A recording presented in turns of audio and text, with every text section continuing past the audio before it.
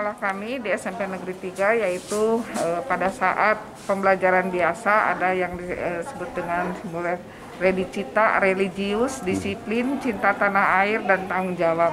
Ini kami terapkan yaitu eh, 15 menit sebelum pembelajaran.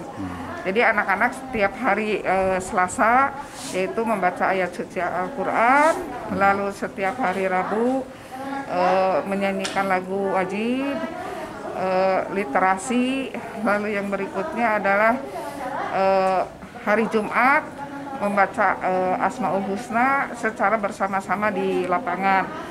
Tapi sekarang yaitu kena ki- situasi kondisi seperti ini dilaksanakannya yaitu di kelas.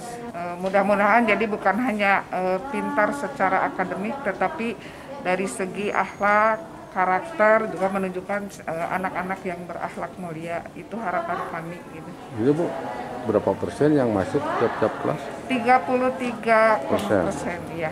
Jadi yang lain giliran ya. Yang lain eh, kelas eh, 8 PJJ di rumah, begitu juga kelas 9. Jadi eh, bergantian pada saat kelas 8 PTM, kelas 7 dan kelas 9 PJJ di rumah.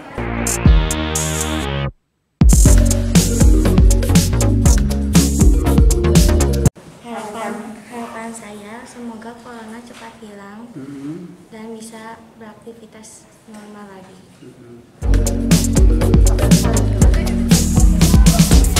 Bagi anak.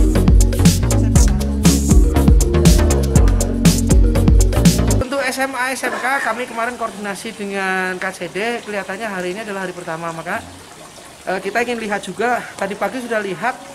Alhamdulillah meskipun hari ini beberapa SMA SMK sudah mulai PTM SMP juga PTM tetapi kondisi jalan kelihatannya eh, masih normal ya masih belum belum terjadi kemacetan karena memang kekuatan yang masuk itu hanya sepertiga gitu ya.